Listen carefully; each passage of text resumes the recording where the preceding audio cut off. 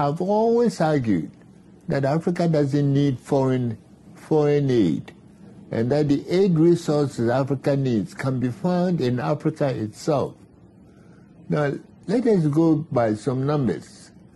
The total amount of foreign aid that comes into Africa every year is about $40 billion from all sources. Now, the African Union back in 2014 estimated that the Africa loses $148 billion from corruption alone.